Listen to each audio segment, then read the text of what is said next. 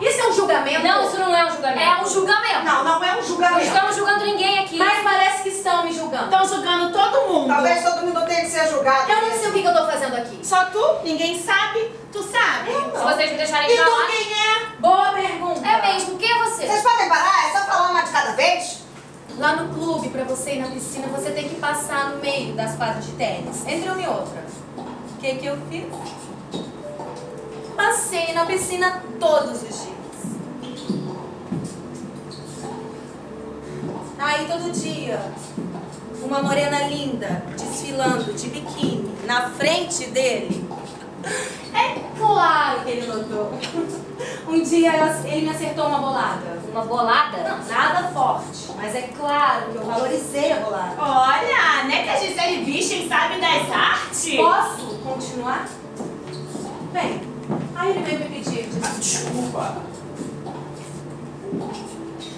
Me chamou pra conversar no bar do clube e o resto já sabem. Meteu uma barriga, disse que era dele e o trouxa casou. Eu vou ignorar. Um dia ele me telefonou e disse que ia passar lá em casa pra deixar umas coisas minhas que ainda estavam com ele. Eu pedi que ele deixasse na portaria. Só louco amor, como eu amei. Só louco. Que susto, Pedro! O que, você tá fazendo aqui no corredor? Desculpa, eu não queria te assustar, gatinha, mas eu não podia deixar suas coisas na portaria. Posso entrar? Só um pouquinho? Jogo rápido e sem gracinha que eu tenho que estudar, combinado? Combinadíssimo.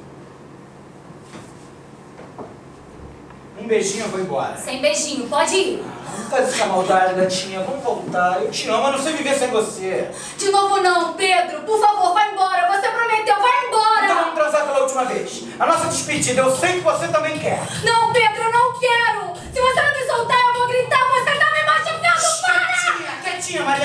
Senão vai ser pior, vou te machucar. Ele me segurou por trás e me deu um batalhão. Eu desmaiei, ele achou que eu morri.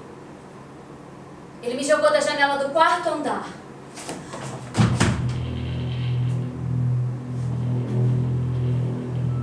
Foi então que eu comecei a me interessar pelo chefão, que era casado também, mas era um galinha. Não deu muito tempo e eu comecei a sair com o chefão. E aí vocês sabem como é que é homem. Foi eu começar a sair com o chefão que o chefinho enlouqueceu. Prometeu deixar a mulher, casar comigo, enfim, tudo que um cara promete quando tá apaixonado. Mas agora eu tava focada no meu objetivo e o chefinho só me atrapalhava. Aí ele passou a te bater. Eu já disse que ele nunca me bateu. Mas como que você não me contou? Como é que você soube? Deu pra me investigar agora? Como assim? Você ficou louco? Eu sempre confiei em você. Por que, que eu investigaria a sua vida? Foi o Maurício, seu colega da firma. Ele me perguntou se você já tinha arrumado um outro emprego.